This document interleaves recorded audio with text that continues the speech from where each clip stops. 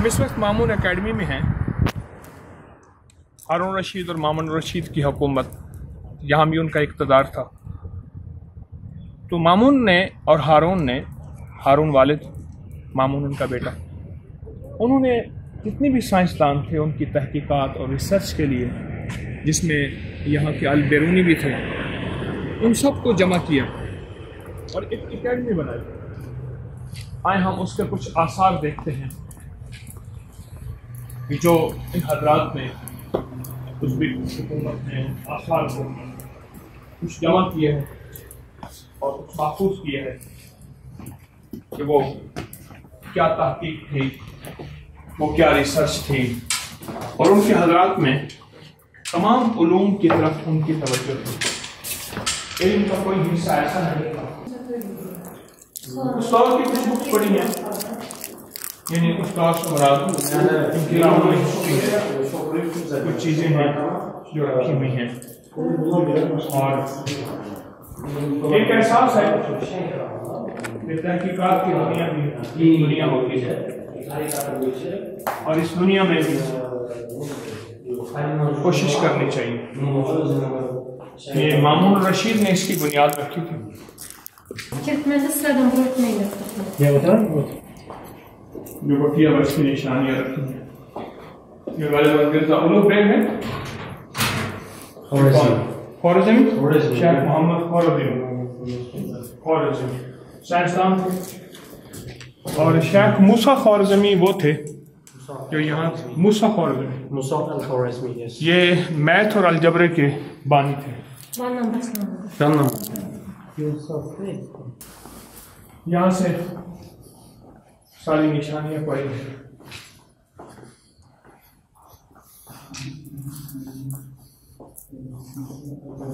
Museum میں چیزیں پڑی ہیں۔ خوازم کی ایک تاریخ ہے، بہت عجیب تاریخ ہے۔ یہ شہر پنا سٹی واد۔ شہر اس کے اندر تھا۔ یہ انہوں نے شہر پناہ بنائی۔ جو کہ سات کلومیٹر تھی دس دروازے تھے۔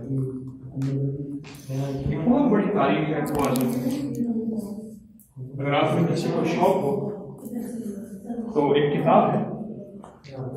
ذخیرہ خوازم شاہی اس کتاب کو پڑھیں۔ اس کتاب میں آپ کو بہت کچھ چیزیں ملیں گی دیکھنے کو، پڑھنے کو، یہاں کے نظام کو سمجھنے کو۔ آپ کو بہت چیزیں ملیں گی۔ Her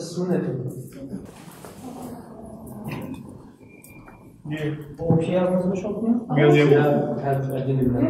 اس کا دوسرا حصہ ہے آپ کی رکھی ہوئی کتابیں ہیں کلمی مخلوقات ہیں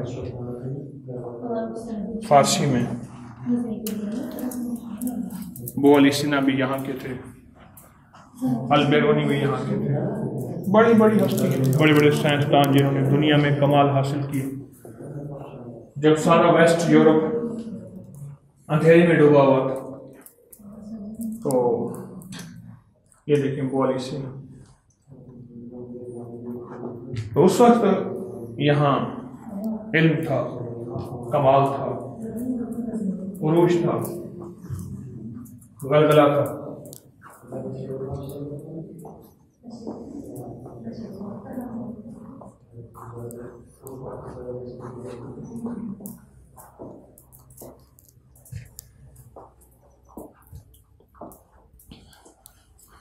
خوار زمین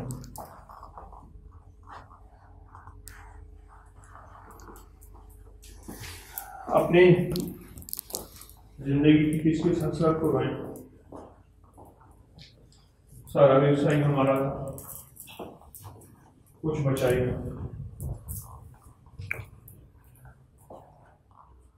کچھ بچ جاتا تو اس کو بیٹھ کے ہم سوچتے یہ گہوارہ ہے گہوارہ۔